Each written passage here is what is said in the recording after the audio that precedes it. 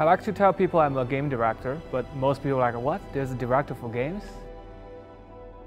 So at a very young age, I was forced to study computer programming. But really at the time, I love to go to art school, I like to draw. When I finally get to the college, university, right? That's when I completely break free from my parents' control, you know, the tiger moms and dads. Flower is a game that is very much about my own experience growing up in Shanghai. Growing up there for about 20 years, you know, I don't recall seeing a lot of green. When I moved over to California and I was driving on the freeway from Los Angeles to San Francisco, somewhere on the I-5, there's this endless green grass hill that's just rolling over to the horizon and there's these wind, windmill farms that I've only recalled seeing it in the movies. I just thought, you know, this is, this is sensational and I, I really want to capture this experience and share it with my friends who grew up in the city.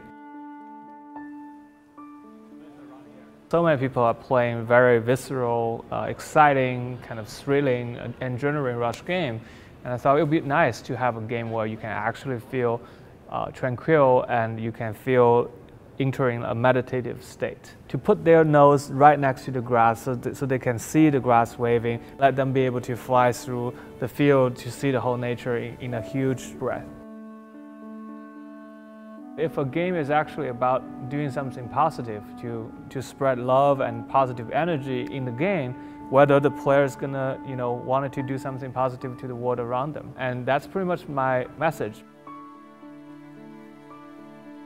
In the game industry, because it's technology, you see a lot of Asian engineers, but you rarely hear about a director or lead designer of a game, a franchise, you know, a creator of a franchise being an Asian guy. I feel kind of lucky that today I have a name in this industry.